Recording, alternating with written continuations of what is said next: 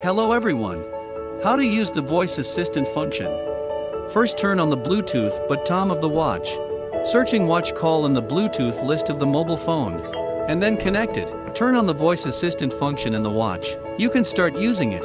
And speaking what you want on watch, such as making a phone call. Dot and so on.